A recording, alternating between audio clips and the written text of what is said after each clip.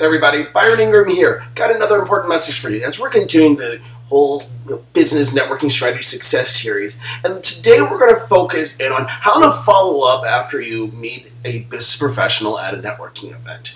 You see, business networking, as you know, is one of the most powerful things you can do to grow your business as you're building relationships with people that understand business and want to interact with other business professionals.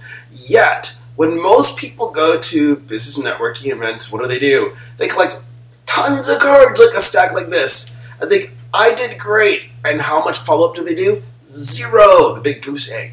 So for you to be successful, you need to follow up, and the ideal time frame to do this is within the first 24 hours. Here's the reason why. That average person out there that's networking, going to, let's say, a large event, is going to try to get the big stack of people they're not going to remember you from Adam and whoever else out there. They're just not.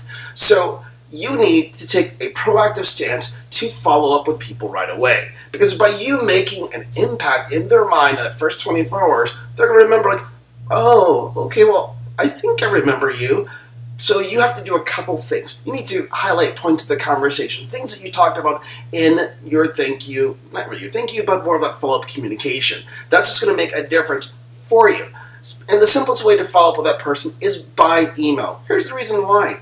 People read their emails all the time, and the majority of people have the emails going to their phone. So they're going to see that, oh, why, thank you, you, you for following up with me. That's great, because the reality is so many people don't do it. They meet someone like, hey, that's great, let's talk. Silent. So doing that will automatically put you to the front of the crowd because most people are not going to follow up with anyone that they meet. So that's just one of those little strategies. So when you follow up with someone the next 24 hours after you meet them, it's going to show them that you have initiative and you're interested in making business happen.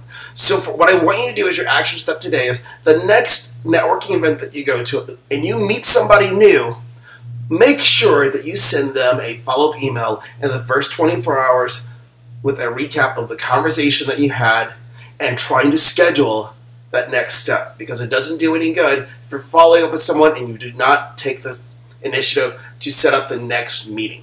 So focus on that and you will see that your business will grow.